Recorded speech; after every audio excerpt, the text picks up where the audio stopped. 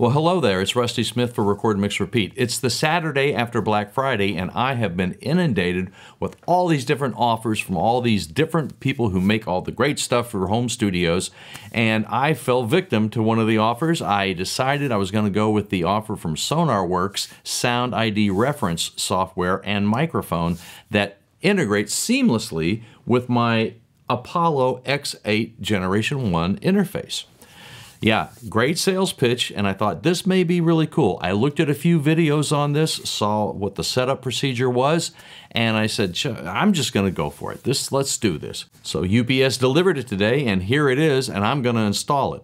Let's see how this goes. Okay, I've taken it out of the box. Here it is. Ta-da! Uh, we're going to see how this works with our system and what a pain in the neck it is to hook up. There you go. Hey, they got a Black Friday sale. I think I've already been hooked into that one, huh? Little show here while I'm installing the license, so that's kind of entertaining. I like that idea.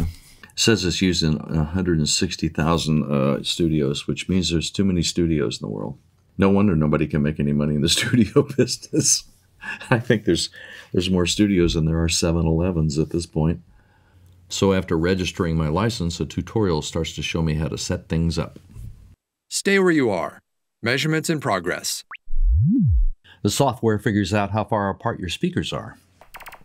And then you go through this big ordeal of measuring things and making sure that the mic's in the right place so they know how far apart the speakers are and how far away the listening spot is. And then they go through this whole thing of uh, where you're moving the mic around, it's getting the sound out of the speakers, and the software is measuring the reaction of the sound in the room.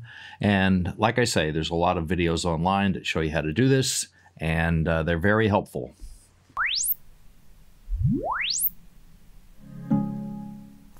Hmm. Well, quick little blurb for the channel here. Please subscribe if you like what you're seeing. Hit a like button, leave a comment, let me know what you think. I love doing these videos and uh, it would really help me out a whole lot. Yeah, Rusty Smith for Record Mix Repeat.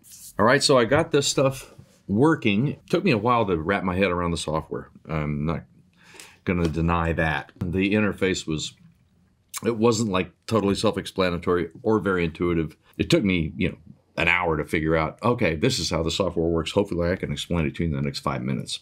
Okay, so this is what the Sound ID reference software looks like. After you've analyzed the room, this is what you end up with. You have a selection of graphs you can look at before, which is the analysis of the room, after the calibration that's being utilized, the phase, the limits employed, and the target. Lighter purple is left, the darker purple is right. So this is what the analysis of the room was. All right, kind of all over the map here. So that's the frequency response of the room. So here's the calibration. If you look, you'll see that the calibration, the green, is basically just a mirror image of the analysis, okay, to correct the issues. And if you get rid of the before, here is the EQ being employed. This is the what they call the calibration curve, all right?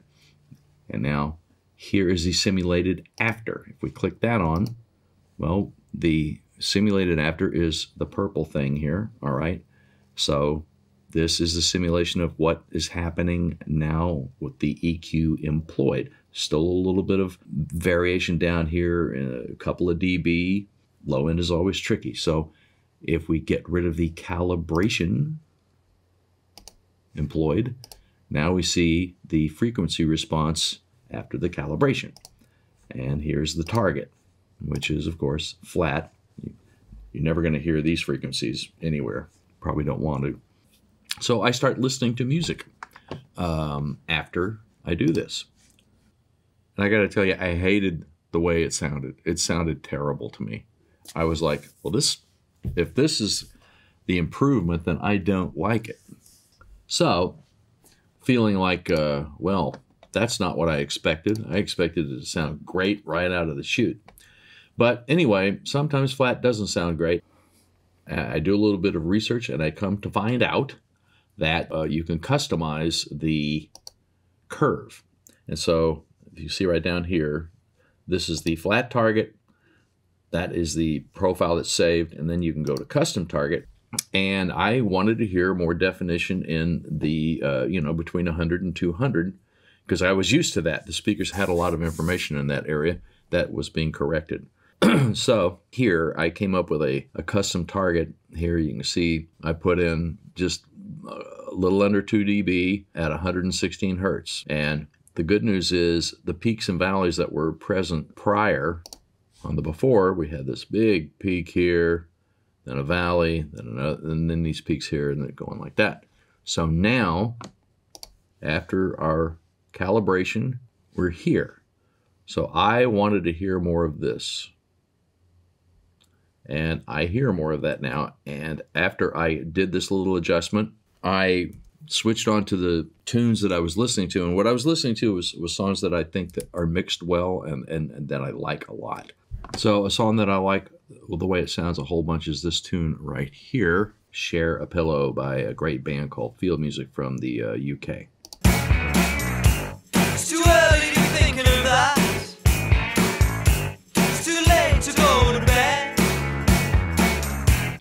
So, yeah, that particular piece of music was punchy, the way I like to hear it, uh, and I was very happy with it. And uh, I got my custom curve exactly the way I wanted it. I started out, I moved it around a little bit until I got it to where I went, yeah, this is what I want. This is sounding good coming out of the speakers. Now, for you, hearing it on the YouTube channel, it doesn't sound any different no matter what I do because the Sonarworks is only affecting my speakers and not the signal. You just got to take my word for it on that kind of stuff. I went then I went and listened to one of the all-time uh, great standbys you can listen to. I go into this uh, Two Against Nature. Uh, this is a great sounding record here. Uh, it's actually made for CD instead of a um, an LP.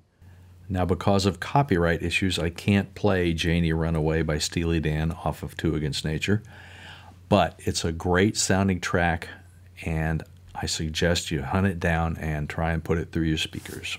So there's a song that's just, you know, got great tight low end and uh, a ton of fun to listen to for me. And then when it comes to more powerful stuff, one of my faves is Radiohead. And in Rainbows, one of my favorites is the uh, intro to uh, Weird Fishes because you get to hear the drum kit. Once again, due to copyright issues, I can't play Weird Fishes by Radiohead. I tried to post it, but they said, nope, can't do that.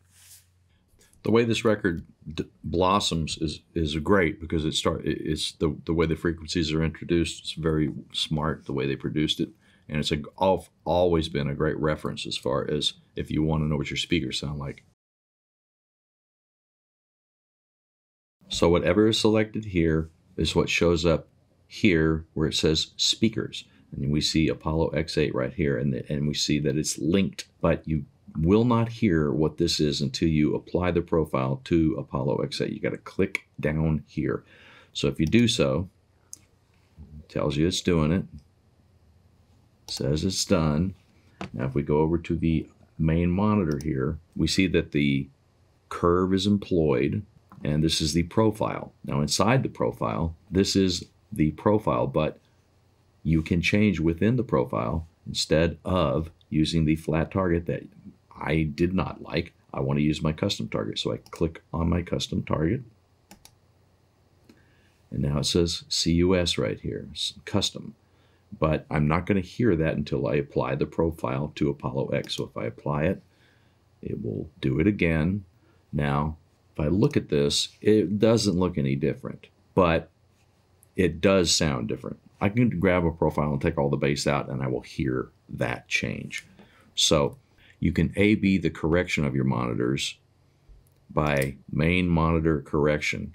Enable, and you can hear the relays clicking inside of your Apollo. If you disable it, you hear the relays clicking there. And you hear the change in your speakers. I hear my old curve here without any correction, and I hear my new curve here with correction. And I will say that these two mixes here of this song called It's a Pleasure Knowing You are slightly different from each other. The first one I mixed a while back and it has too much mid range and not enough bass in it.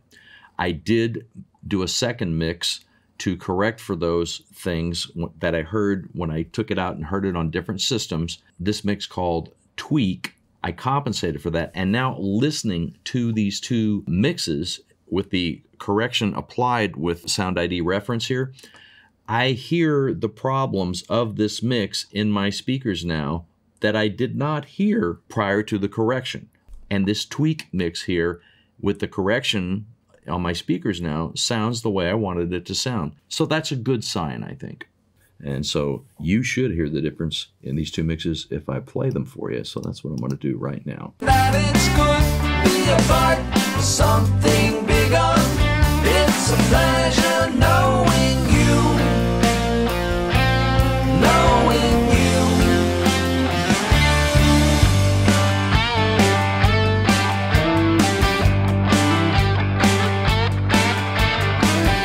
That's the mix that had too much mid-range and not enough low end. And now I'm going to play the mix that was tweaked and sounds much better now on my speakers with the new correction. It's a pleasure knowing you, knowing